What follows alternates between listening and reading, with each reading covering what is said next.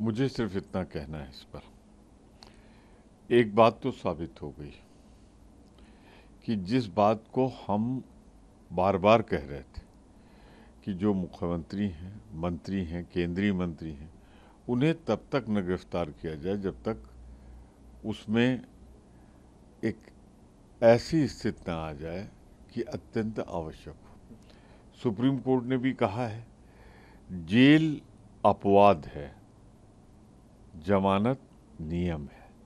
जैसा supreme court ने कहा कि सामान्यतः जेल तब भेजा जाए जब कोई ऐसी स्थिति आ जाए, वह अपवाद है, जमानत नियम है।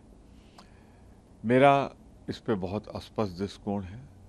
सरकार के पास चार्जशीट फ़ाइल करके जब उनके पास पूरी तरीके से साक्ष्य हो जाए, तभी गिरफ्तारी मुख्यमंत्रियों की, मंत्रियों की, अब हमारे झारखंड के मुख्यमंत्री को गिरफ़्तार करके इतने दिन तक रखा गया।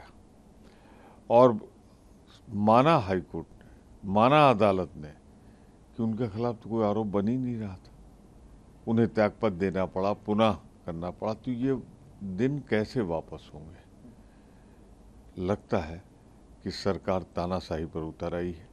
अपने जो उनके एजेंसीज हैं उनका दुरुपयोग फ्रंटल ऑर्गेनाइजेशन की तरह अपने विरोधियों के खिलाफ कर रही है For exclusive and insightful videos, subscribe to our new channel ABP Live Premium.